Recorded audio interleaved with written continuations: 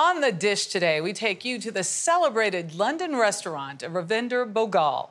Her eatery called Jikoni takes its name from the Swahili word for kitchen and serves up a kaleidoscope of food that reflects Bhogal's own family journey from India via East Africa to England. Imtiaz Tyab went to visit. Jikoni is one of the most exciting, innovative, and down to earth eateries in London's eclectic Marylebone area.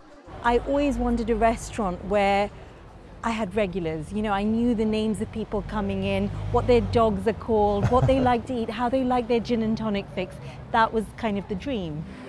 A dream willed into reality by the Kenyan born and London raised Ravinder Bhogal. And then I'm just going to garnish it with a little bit more corn. Just don't call her a chef. You say you're not a chef, you're a cook. Yeah. Why do you make that distinction? The reason I cook is I want to nurture and nourish the people who come in. The word restaurant means to restore, and we feel very much if you're not restoring the people who come in through your doors, you're not doing your job. Bhogal restores her diners by cooking with fresh, locally sourced, British grown ingredients, earning Jikoni the title as one of the UK's first carbon neutral restaurants.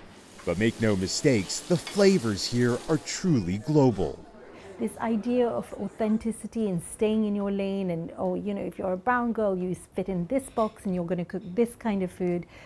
I think Jikoni in a way was my subconscious answer to that. Since it first opened its doors seven years ago, Jikoni has remained a fixture on Best Restaurants list, with its ever-changing and always seasonal menu, something Bhogal proudly describes as immigrant food like this fusion of English, Chinese, and Filipino flavors that's crunchy on the outside and gooey in the middle. This is a signature. This is the prawn toast scotch egg with banana ketchup and pickled cucumber.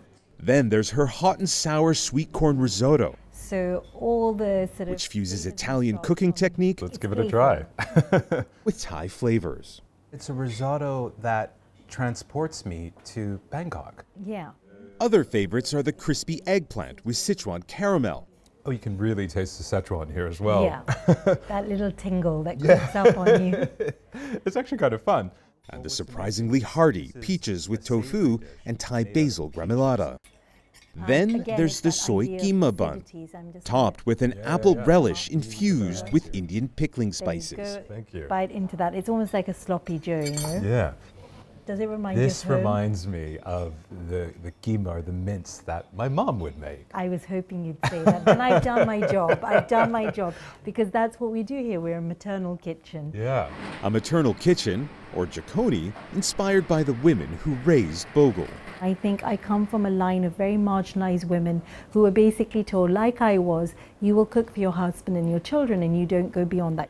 And it's really important for me to tell the stories of those women, represent their food culture, represent their wisdom, because this is a platform I don't take lightly. Bhogal's platform is only growing. As a journalist, she publishes articles and recipes in national newspapers and magazines. You heard it here first.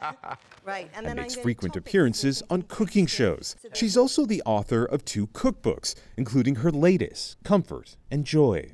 It is a love letter to my, um, you know, to vegetables and my grandfather. It's a vegetarian cookbook. Bhogal's grandfather, who migrated from India to colonial era Kenya in the 1940s, found joy in farming the fertile soil there, something he passed on to her. His philosophy was that vegetables are like miracles because they face pests, blight, and bad weather, and yet they turn up to our kitchen, to our table, and that in itself is a miracle.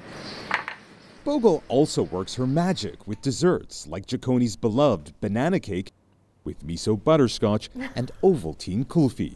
Yeah, exactly. This is sublime. Thank you. I always know when I'm coming up the stairs when people are eating the banana cake because you hear these kind of sort of gratuitous grunts. I was trying to be polite. For Ravinder Bhogal, Jikoni isn't only a culinary passport that takes diners on a journey across continents with every mouthful, it's also a place where she can share her family's love of food and the Earth's bounty.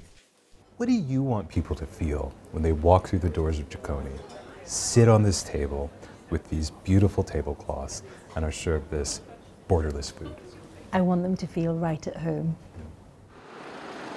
For CBS Saturday Morning, Imtiaz Tyab, London. Looks like my kind of food. Very nice. Yes. I like what she calls vegetables are miracles. Oh, she yeah. says. And I like the gratuitous grunts from the dessert. Yes. as well. Gratuitous That was pretty good. So this is ginger, a ginger shot. We have a Yes. ginger shot with what is No it, alcohol. Marcy? Yes, Coconut. cayenne, coconut, and ginger. Ginger. And, And we have this- ginger candy. Yes. And we have a ginger beer. And ginger, ginger beer. beer. with ginger candy. So I Yes, say we so- start with the shot. Cheers. you yeah. think it's gonna, you think it's gonna be too much for us, me? She's trying to like No, knock us you out. ready? Yeah, ready. Mm. There it is. Whoppa! That Nice. wasn't. That was Not too bad. another ginger beer. Sorry. It means you won't I'm get- not a ginger shot. It means you won't get sick for a month. Okay, Ooh. that's good. That's what it does.